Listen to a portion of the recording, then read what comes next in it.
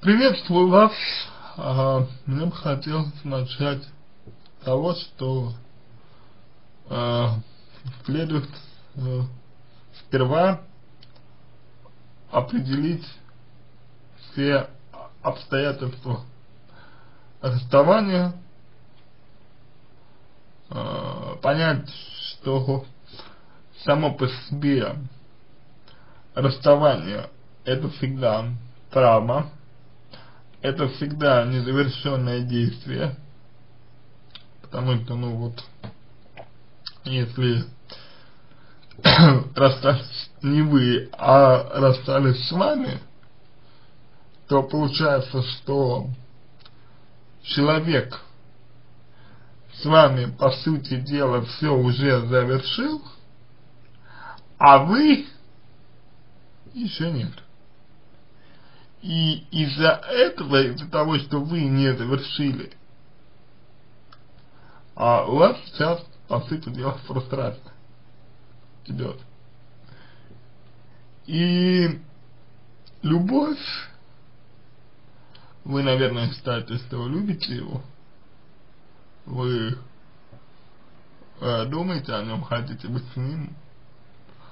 А, первое, что нужно понять, и поменять в своем, в своем мышлении, в своем э, восприятии, это по сути отказ от любви. Отказ от понятия любви именно здесь. Ибо как о таковой любви речь здесь не идет. И я поясню почему не, идет речь. Дело в том, что люби вы человека по-настоящему, сильно, искренне, вы бы были рады, что он с вами расстался, ведь, ведь он, если расстался с вами, стал счастливым но вы не смогли порадоваться этому, не смогли увидеть в этом плюс для молодого человека. Э, вы увидели, что это в первую очередь вредит вам, и, соответственно, это означает, что это не любовь. То, что происходит. Э, это страсть, привязанность, может быть что-то еще, но не любовь. И тогда на первое место выступа, э, выступает уже, э, соответственно, то, что определяет вот, э, невозможность вашего отпустить человека. Что это? Потребность, страх, сомнение в себе может быть какие-то ассоциации, объективный след от предыдущего опыта и так далее. И с этим нужно разбираться, что именно заставляет вас э, держаться до человека хотя бы в своем воображении. А дальше, дальше стоит менять привычные модели поведения на другие. На, на модели поведения немножечко другого рода. На модели поведения, направленные на независимость, на независимость э, с вашей стороны. То есть Сейчас вы зависимы. Сейчас вы нуждаетесь в, в этом человеке. И нуждаетесь вы в нем. Потому что что-то потеряли. С его уходом вы что-то потеряли. С его уходом вы чего-то лишились. И сейчас вы переживаете, по сути дела, невроз. И этот невроз действительно может перерасти в довольно серьезное состояние. В психиатрическом отделении, может быть, вы и не окажетесь, но проблемы будут существенны. Очень важно при этом знать, как вы воспринимали человека, как он воспринимал вас, какая была линия поведения у него, какая была линия поведения у вас. Это все, эм, как вам сказали уже мои коллеги, это все э, необходимо немного подкорректировать, чтобы в будущем такого у вас не было. Это работа, а, потому что вполне вероятно, что у вас есть э, зависимость, зависимость здесь на лицо, и тогда следует сказать сразу, что зависимость состоит из двух основных моментов. Первый момент – это момент идеализации человека, то есть приписывание ему тех качеств, которых у него нет.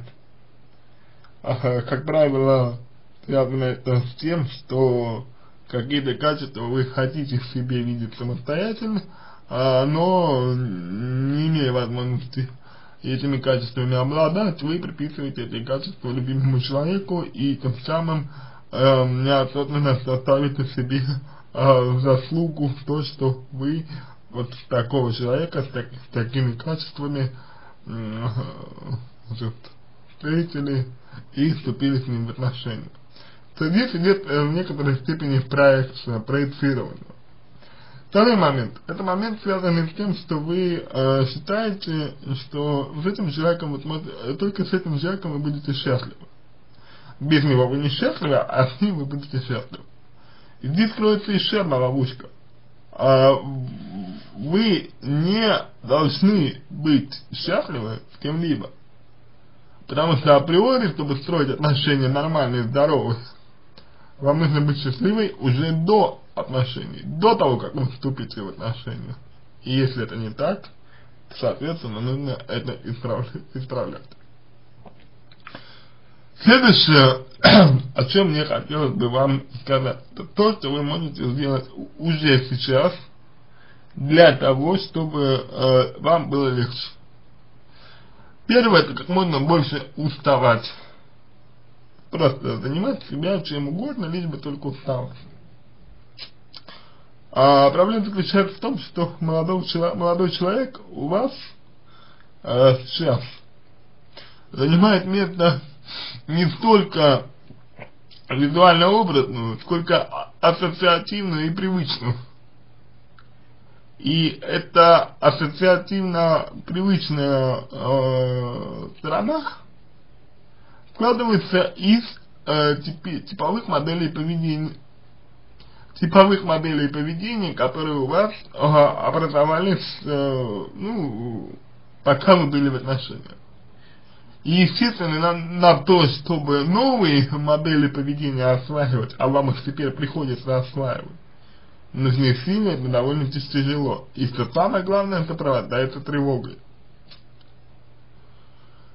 И для того, чтобы легче было осваивать новые модели поведения, в частности, самые необходимые модели поведения, нужно, чтобы это происходило автоматически, э, с наименьшим, с наименьшим участием э, сознания, сознания. А для этого нужно, чтобы вы уставали. Уставая, вы будете на автоматизме делать то, что вам необходимо, что-то необходимо. И делая что необходимо, вы постепенно будете привыкать к новым моделям поведения, в, которым, в которых нету э, молодого человека вашего, э, значит, э, которого, которого вы любили. И, соответственно, это поможет вам э, легче переживать расставание. Также э, можно, сказать о новых впечатлениях, которые вы можете получать. Э, чем больше, тем лучше. То пом поможет, пом поможет вам, кстати говоря, уставать. И новые впечатления постепенно будут выталкивать э, из вашего сознания, опять же, э, то, что у вас есть сейчас. Но э это само по себе отдельно, э, без работы э, по тем направлениям, э, которые я обозначил, могут привести к, э, к негативным последствиям. Могут привести к вытеснению потребностей, к вытеснению желаний и, соответственно, не помогут вам, а лишь только навредят. Поэтому имейте это в виду, вы можете сделать это для того, чтобы вам немножечко полегчало, но э, основная работа будет заключаться именно в том, чтобы э, помочь вам научиться быть независимой, любить себя, э, грамотно, адекватно оценивать то, когда с вами расстаются, сознавать значение того, что с вами расстаются, и не принимать это на свой счет. То есть, если молодой человек с вами расстался, в этом вашей вины нет. На уровне личности, на уровне женской модели поведения. Так, как человек вы, может быть, э, допускали какие-то ошибки, как человек вы, может быть, совершали какие-то опрометчивые негативные поступки, это безусловно, но это не означает, что вы, например, э, как это иногда думают, э, вы никому не нужны, или вы не привлекательны, или что-то еще в этом духе. Это все не так. И вот это вам нужно, вам нужно четко для себя понять. На этом все. Надеюсь, что помог вам. Если какие-то вопросы остались дополнительные, пишите в личку, помогу. Если вам понравился мой ответ, буду благодарен, если сделаете его лучшим. Желаю вам всего самого доброго, доброго и удачи.